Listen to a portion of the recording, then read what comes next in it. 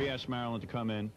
She did a good impression of Katharine Hepburn during the uh, commercials. Thank Yes, you. she did. She's wonderful. I loved it. She's just great, hanging in there and everything. Spencer always liked it. We got Marilyn Michaels to do an impression, And Elizabeth and she called someone from our staff. God, my hips are wrong. That's beautiful. I know it, Howard. I have one here and one here.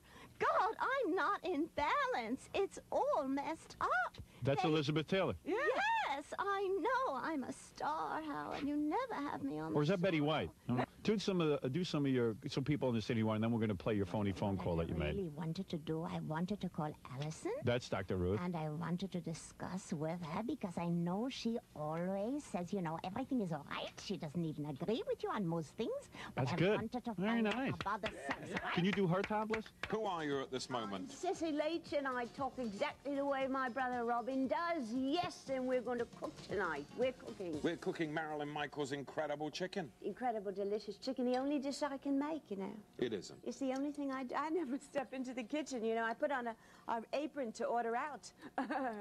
I'm very proud of the progress, sis, that you've made from leaving the old country and coming to America. Well, I left the old country. I didn't talk that way. I talked this way. And then you changed. That's right. it's out of control. Definitely. What do you think she eats for breakfast? You should see our house in the morning.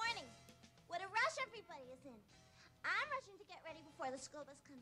Mom and Dad are rushing around to get ready to go to work. Nobody eats breakfast in our house. Nobody. Hey, you're good at that. Hello, I read the whole John. thing. Sometimes I memorize it, sometimes I read it. I didn't realize that I did that many people, but I really do. You do a tremendous amount. I know. So exciting when you do that, you know. My husband is never bored. I should teach you to do Liza. I'd like, I'd like to smack Liza. Can I just do that once? yeah, I know. I mean, feel good. I- that feels good. she's so terrific and everything, and it, it's so what up? Yeah. Boy, would anybody like to smack Liza?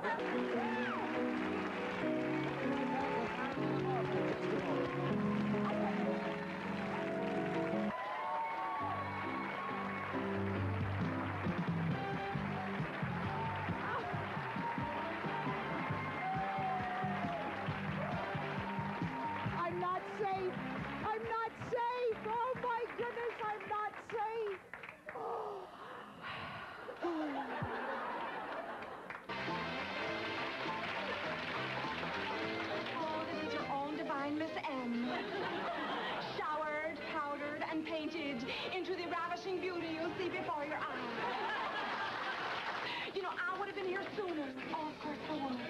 But I've been working on a sequel to E.T. Oh, in this one, E.T. and I were sitting on the porch, and we're smooching like crazy. And E.T. says,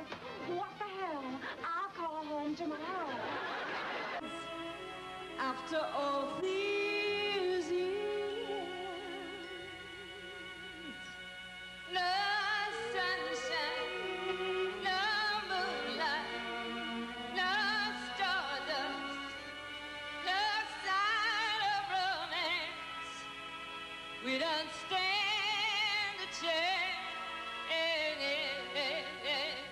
and we. There's a new hit single in the jukeboxes nowadays that's really a double. It's by Barbra Streisand and Donna Summer, and it's called Enough is Enough. And we have two young ladies on our Desert Inn stage to perform this famous duet for you. Ladies and gentlemen, Miss Marilyn Michaels and Miss Marilyn Michaels.